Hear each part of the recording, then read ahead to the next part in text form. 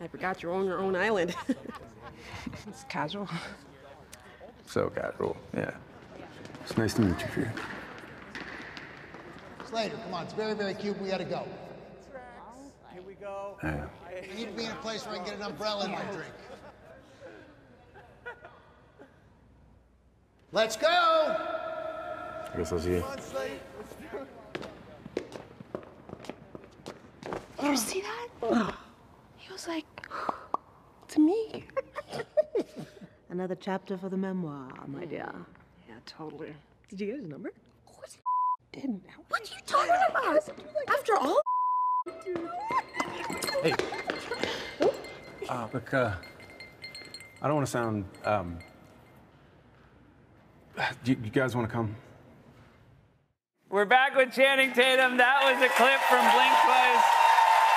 This is, I love this movie. And I'm very glad, by the way. Um, the worst thing to show would be a clip that gives much away about this movie because there are so many uh, wonderful twists. And this, most excitingly, is uh, your fiance Zoe Kravitz's uh, directorial debut. And we were talking backstage. uh, A, first movie shouldn't look this good. I, no one would ever know if you were like, no, no, she did like two other things and like tried to convince people, and they'd be like, yeah, that, Yeah. that actually makes sense. Uh, I, she's such a nerd for movies. Like she doesn't do anything. We don't.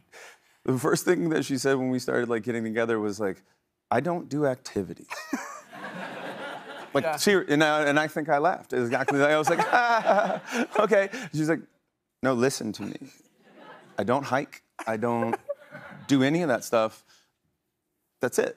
like, and then we, and like on a day off, we watch like three or four movies like a day. Like we just love it. The best thing I will say, because again, I think people who really love movies do this uh, thing where when you actually see their movies, it doesn't remind you of anything. Yeah. Like they they're taking uh, if they are if that's what they're doing, like they're taking only little things so that it feels like a whole new style that is unlike anything you've seen 100%. before. Yeah. Uh, this is an idea uh, that she co-wrote the script as well. This been working on for like six, seven years. Seven years. I think she started writing this seven years ago while she was in London on a movie because she had a lot of downtime on the film, and and it was called Pussy Island. Uh, And I The, think the original draft of the the, original, Yeah. the original Great. draft, and I think those were her first two uh, words on the cover page. Like, she didn't Yeah. even know exactly what it was going to be about, but she knew it was going to be called that. It's not called that now. It's called uh, like so. Seriously, Yeah. uh, it's called Blink Twice. Um, and I, I just uh, am so in awe of her process because, like, even the first script that I got that I read, I knew that it was like wildly bold and taking some of the biggest swings that I've ever even seen. And I don't even think she even really said it out loud that she wanted to direct it, but it was sort of clear to me that like she wanted to direct it. And then the process that she's still been on to date. I mean, literally like two a, a week ago, we're still talking about creating on this movie. I'm like, you know that the movie's done. Like the movie's done. Like we're like we're it's gonna come out. And after the movie's gonna come out this weekend, you know, it's not gonna be here in our space anymore. And she just is, she's just dogged and relentless. And, and The other I'm thing so that's proud of her. crazy when we were saying backstage seven years ago, it's so prescient because there are ideas about, uh, you know, problematic billionaires, empty apologies, Me Too stuff, and it feels like something that somebody had this idea and wrote it in the last month, Yep. based on how present it feels. And that really says something, you know, outside of uh, uh, the wonderful directing she did, just how good the writing was. Yeah, I think uh, you know she was feeling something that was going on in a way that that you know she wasn't trying to be like, okay, this is going on in pop culture right now, or you're just in culture in general, and I'm going to make a movie about it. She had just a feeling of going, I feel like I want to make this, th-. and she's obsessed with thriller and horror movies, and and she's like, okay, I'm going to make something. And when you re- when you watch this movie, I guarantee you're going to be like, this was made from this thing right here, and that thing was made from that thing.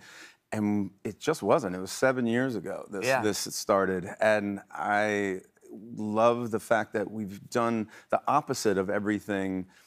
You'll see the you'll see the movie, and nothing, not one single like character thing of me was ever pulled from any of these nefarious like men in history or anything. And I'm just, uh, you know, I'm really excited for people to see it. I, the, you have this really fully round character, and it's uh, fascinating to know it's not based on anyone, but it is based on this idea of person that I feel like we recognize right now. Very and much. there's a, a detail, and again, I, I'm trying so hard not to give anything away, but you are this billionaire who's, who's like on an apology tour, and you say something. It made me laugh so hard. Where you're like, "I have chickens now," and the amount of like rich people who are like, "I've got chickens now, so I'm all good." It's such a good detail. It is such a good detail, and the minute it was, it's within the first like two minutes of the movie, and I'm like, oh, I'm in good hands. Yeah, you're like, I'm earthy.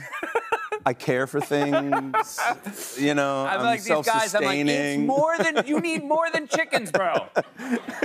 anyway, please congratulate her. It's fantastic. Thank you so much. Thank you, my friend. Tatum, everyone. Blink twice. Is in theaters everywhere this Friday, August 21st. Stick around. Be right back with Sabrina Ionescu.